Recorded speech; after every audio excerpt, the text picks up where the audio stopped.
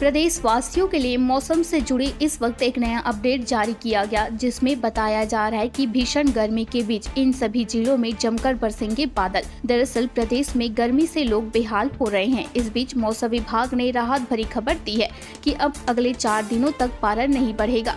बारिश और अंधर से लोगों को राहत मिल सकती है। अभी मौसम नया सिस्टम बना हुआ है, उसके मुताबिक राजधानी समेत कई इलाकों में शाम होते ही हवाएँ तेज चलना शुरू हो जा रहा है। वहीं बदले में सिस्टम के असर से राजधानी समेत कुछ जिलों का पारा एक से दो डिग्री तक कम भी हो गया। इस बीच बताया जा रहा है कि बीते 10 साल में ऐसा पहली बार देखने को मिल रहा है कि अप्रैल माह के अंतिम सप्ताह में पारा कम हो रहा है, जहाँ बीते वर्षों में अंतिम सप्ताह में पारा तेज़ी से बढ़ जाता है।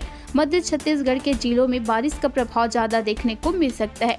और इसी बीच बात करें मौसमी सिस्टम की तो पश्चिमी विक्षोभ ईरान के ऊपर स्थित है, जहाँ एक उत्तर दक्षिण द्रोणिका हवा की अनियमित गति दक्षिण छत्तीसगढ़ से दक्षिण तमिलनाडु तक स्थित है, जो कि आज 22 अप्रैल से एक दो स्थानों पर हल्की वर्षा होने अथवा गरज चमक के साथ छींटे पड़ सकती है।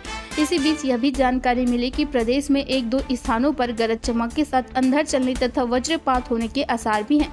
साथ ही वर्षा का क्षेत्र मुख्य रूप से मध्य छत्तीसगढ़ रहने की संभावना है, जिससे अधिकतम तापमान में मामूली गिरावट भी हो सकती है। तो ये रहा मौसम का एक नया अपडेट, जो कि हमने आप तक पहुँचा दी। तो अगर आपको वीडियो अच्छी लगी हो इन्फॉर्मेटिव लगी हो तो वीडियो को लाइक करें। साथ ही चैनल पर नए हो तो फ़ौरन सी जी छत्तीस न्यूज़ को सब्सक्राइब कर बेल आइकन को ऑन ज़रूर कीजिएगा, ताकि इस तरह की हर नई जानकारियाँ आप तक पहुँच सके। ओके, मिलते हैं ऐसी और अन्य जानकारियों के साथ नेक्स्ट अपडेट में।